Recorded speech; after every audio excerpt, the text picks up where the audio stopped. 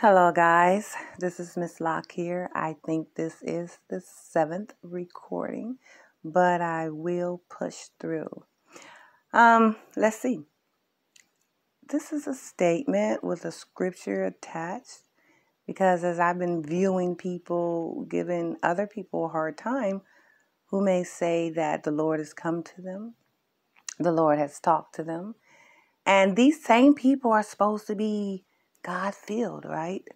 But yet they are denouncing someone else's relationship with God.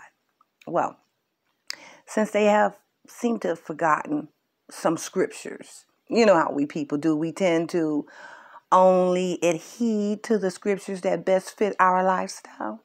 Well, let me give you guys a reminder, those that are full of chuckles. John chapter 14, verse 18 says, I will not leave you comfortless. I will come to you. Amen. Amen. Thank you, Jesus. Now, this is the way I see it. He didn't say, I will not leave you comfortless, maybe, or, or I will come to you someday, or I'll think about it. He said, I will not leave you comfortless. I will. Will is a statement that's saying it's done, done, it's decided. I will come to you. Okay? And those of us who believe and have that open heart, we got that pleasure.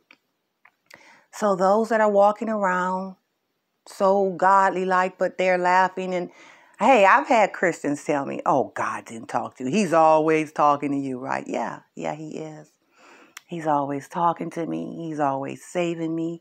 He's always correcting me, sending me on a new path, and sending me assignments.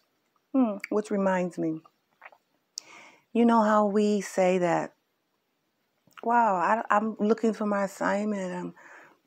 I don't know what God wants me to do.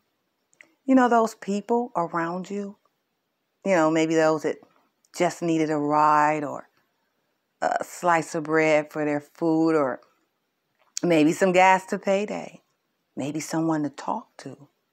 All right? They're your assignment as well. All right? Our walk with God never ends. We even battle in our sleep. Heck, I just got off the battleground. And God knows I wanted to lay down and relax, but I must be obedient we must be obedient. So the next time, you know, you want to scrutinize another Christian, because I've been watching it, just take a look at your own walk. Because if it's good all the time, something's most definitely wrong. God says, I will not leave you comfortless. I will come to you. Amen and shalom. I love it.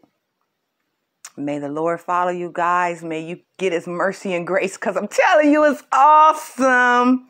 Love you. Bye.